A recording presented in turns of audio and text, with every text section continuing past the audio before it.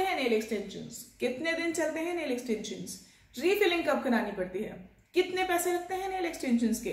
क्या nail extension कराने में या उतरवाने में दर्द होता है? इन्हीं सब बातों का जवाब देने के लिए आज मैं ये वीडियो लेकर आई हूँ आपके सामने। Hi guys welcome back to my channel kiddy groups online मैं शिवांगी आपकी होस्ट और दोस्त, और आज के इस वीडियो में हम बात करने वाले हैं। नेल एक्सटेंशन के बारे में। तो टाइटल आपने पढ़ लिया है, मैंने आपको बता भी दिया है कि वीडियो किस बारे में है तो sit tight and watch the video till the end okay so मैंने रिसेंटली नेल एक्सटेंशन कराया है। मेरे नेल्स कभी भी ज़्यादा बढ़ते नहीं हैं और थोड़े से बढ़ते हैं और वो टूट जाते हैं। तो I always wanted to get the nail extension done लेकिन मेरे दिमाग में भी यही सारे सवाल थे कि कितने दिन चलते हैं, कितने पैसे लगते हैं, दर्द होता है कि नहीं, जो नहीं रिफिलिंग कब करानी पड़ती है एक्सेट्रा एक्सेट्रा लेकिन फाइनली एक दिन हिम्मत करके मैंने एक्सटेंशन करा ही डाले। And these were my extension और uh, फ़िलहाल मेरे हाथ ऐसे हैं बिकॉज़ मेरे इस हाथ के मुझे नेल एक्सटेंशन हटवाने पड़े। क्यों हटवाने पड़े? मैं आपको बताऊँगी वीडियो में। आराम से बैठ के देखिए। सो so, मेरे ये बड़े भी थे मैंने ये छोटे भी करवाए हैं बाद में। ये भी क्यों करवाए? ये भी मैं आपको बताऊँगी वीडियो में। सो नेल एक्सटेंशन जो है वो तीन तरह के आते हैं। Acrylic nail extension fibre nail extension and powder dip nail extension शायद और भी आते होंगे, लेकिन मुझे ये तीन पता है। तो मैंने जो है वो पाउडर डिप नेल एक्सटेंशन कराए थे जो कि मुझे ऑनेस्टली बहुत ज़्यादा पसंद नहीं आए। Initially I was very happy जब मैंने कराए थे बिकॉज़ मैंने फ़र्स्ट टाइम कराए थे and I was very happy to see मेरे लंबे लंबे नाखून beautiful hands I was very happy but it's not my cup of tea मैंने करा तो लिया नेल एक्सटेंशन बट ऑनेस्टली धीरे धीरे मुझे पता चलने लग गया कि ये मेरे लिए नहीं है, मुझे नहीं कराने चाहिए थे। मैंने कराया है पाउडर डिप नेल एक्सटेंशन जिसमें कि ऊपर की एक टिप जो होती है, वो एक ग्लू से चिपकाते हैं। एंड देन आपके पूरे नेल के ऊपर ग्लू लगा के उसको पाउडर में डिप किया जाता है, जिससे कि इसके नेल की लेयर बिल्ड हो जाती है और एक फेक नेल आपके नाखून के ऊपर तैयार हो जाता है।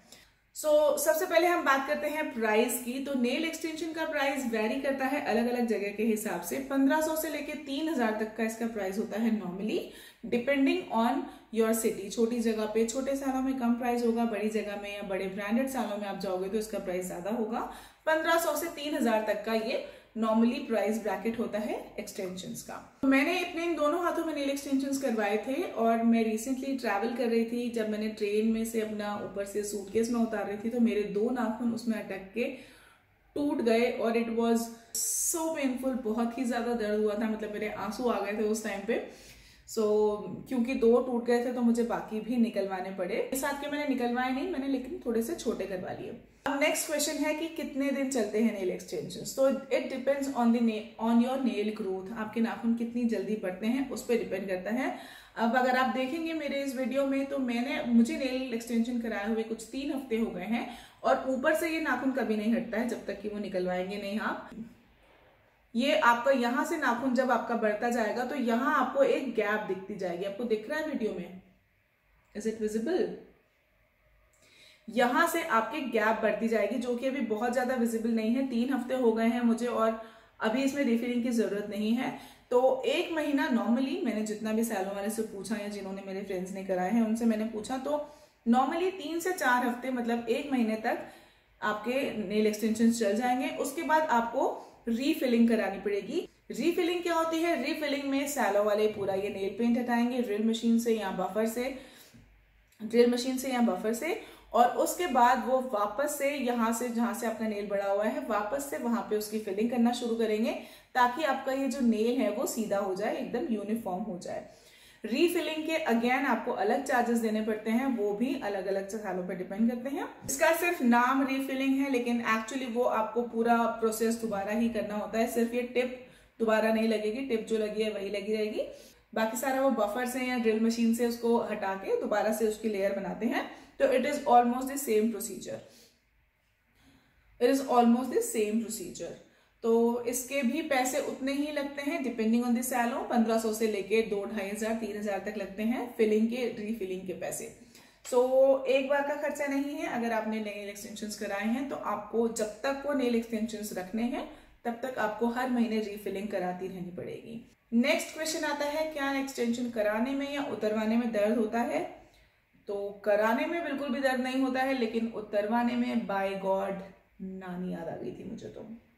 It was very painful I don't know सबके साथ होता है कि नहीं बट मेरे पाउडर टिप नेल्स कराए थे मैंने and it is set to be pain free लेकिन मुझे बहुत पेन हुआ था जब मैंने अपने ये वाले नेल्स निकलवाए थे. इट वॉज़ वेरी पेनफुल उन्होंने कुछ सोल्यूशन में इसको डिप करके फॉइल से पैक करके भी रखा था थोड़ी देर एंड देन उसके बाद उसने बफर से और नेल कटर से और नोच नोच के एक्चुअली मेरे नेल्स निकाले थे which was actually very painful so so, हाँ लगवाने में दर्द नहीं होता है लेकिन निकलवाने में दर्द होता है। And what was the next question कितना टाइम लगता है नेल एक्सटेंशन कराने में? अगर आपको सैलो वाला बोल रहा है कि एक घंटे में हो जाएगा तो डोंट ट्रस्ट देम दो घंटे ढाई घंटे से कम कहीं नहीं लगते हैं और मुझे तो चार घंटे लगे थे। It took me four hours to put the extension on both my hands I don't know why maybe powder tip में ज़्यादा लगता होगा टाइम आई डोंट नो लेकिन चार घंटे मुझे लग गए थे तो अगर आपको कोई सैलो वाला बोल रहा है कि एक से डेढ़ घंटे में हो जाएगा तो वो झूठ बोल रहा है don't trust them okay honestly nail extension लगवा के मैं शुरू में बहुत खुश थी, लेकिन बाद में मैं बहुत परेशान हो गई थी लाइक घर आने के बाद मैं, मुझसे एक चम्मच भी नहीं उठ रहा, मुझसे फ़ोन नहीं उठ पा रहा, मैं आटा नहीं गूंद पा रही हूँ, मैं रोटी नहीं बना पा रही हूँ, मैं कंगी नहीं कर पा रही हूँ, मैं बिंदी नहीं लगा पा रही हूँ, मैं एयरपिन मैं इयर नहीं पहन पा रही हूँ। लाइक like, बहुत सारी प्रॉब्लम्स जब तक कि चार पाँच दिन में मुझे आदत नहीं हो गई और सब सबसे बड़ी प्रॉब्लम मैं टाइप नहीं कर पा रही थी। मैं अभी भी मेरी टाइपिंग स्पीड बहुत कम हो गई बिकॉज़ नेल्स के साथ टाइप करना इतना ईजी नहीं है। I have no clue how the girls carry such long nails मुझसे कैरी नहीं हो पा रहे हैं। And I will hopefully get them removed so yes now I have these nails एक हाथ के चॉप्ड ऑफ़ और एक हाथ के थोड़े बड़े हैं। एंड अगेन ये इस उंगली का नाखून मेरा कल परसों किसी में अटक के खिंच गया था और इसमें बहुत ज़्यादा दर्द है। I can't use this finger now किसी भी काम के लिए। बहुत अभी तक भी बहुत दर्द है। बिल्कुल इसे खिंच गया था ये नाखून so if you ask me अगर आप मेरी तरह एक हाउस uh, वाइफ हैं अगर आपको बहुत सारे काम करने होते हैं तो I would not suggest you to get the long nail extension अगर आपका बहुत मन है मेरी तरह। तो आप कराइए नेल एक्सटेंशन लेकिन go to some very reputed parlour जहाँ पे एक्सपीरियंस्ड टेक्नीशियंस हों एंड ज़्यादा लंबे मत कराइएगा प्लीज़ बिकॉज़ ये लेंथ मेरी अभी है मुझे ये भी लंबी लग रही है। इससे भी आप और थोड़ी सी छोटी करा सकते हैं लेंथ मतलब इतनी इतनी लेंथ मतलब आप लंबे नेल्स मत कराइएगा प्लीज़ बहुत ज़्यादा प्रॉब्लम होती है। और अगर आप सलवार पहनती है ना तब तो, तो बिल्कुल ही लंबे नेल्स मत कराइएगा बिकॉज़ नाड़ा ही नहीं खुलता यार। बड़ी प्रॉब्लम होती है। Actually so yeah nail extensions carry करना is not easy you really need to be very patient आपको बहुत पेशेंट होना पड़ेगा, बहुत सब्र रखना पड़ेगा कि जब तक आपको इनकी आदत हो जाए, उसके बाद आप इनको कैरी कर पाओगे, जो कि मुझे अभी तक भी नहीं हो पाई है तीन हफ्तों में।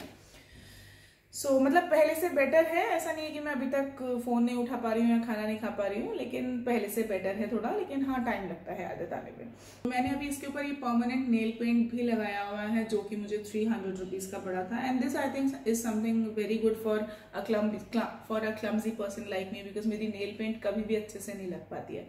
मैं जब भी नेल पेंट लगा के बाहर जाती हूँ तो बाहर निकलने से पहले मेरे दो नाखूनों की नेल पेंट खराब हो चुकी होती है तो permanent nail paint gel nail paint जो है, ये आई थिंक मेरे जैसे लोगों के लिए ही बने हैं। So that is a good option three hundred rupees में it was not expensive at all I am quite happy with that so yeah this was my review on my nail extension कराने चाहिए कि नहीं कराने चाहिए that is up to you but this was my own review. This was my own feedback. I hope it will help you in taking your decisions.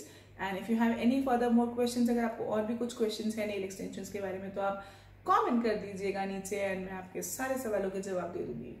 मेरा तो काम यही है। So yeah this was my video all about hit the like button अगर आपको video अच्छा लगा हो तो प्लीज़ लाइक का बटन दबा दीजिए नीचे। शेयर कीजिए मेरा वीडियो अपने फ्रेंड्स एंड फैमिली के साथ। And yeah see you tomorrow in my next video bye show पे आप फ़ैशन और होम प्रोडक्ट्स व्हाट्सएप पे बेचकर कमा सकते हैं। ऐप खोलते ही आपको हाई क्वालिटी प्रोडक्ट कैटलॉग दिखेंगे, जो कि हम इंडिया के बेस्ट सप्लायर से लाते हैं। आपको जो भी कैटलॉग पसंद आता है, आप उसे अपने फ्रेंड्स और फैमिली के साथ व्हाट्सएप पे शेयर करें।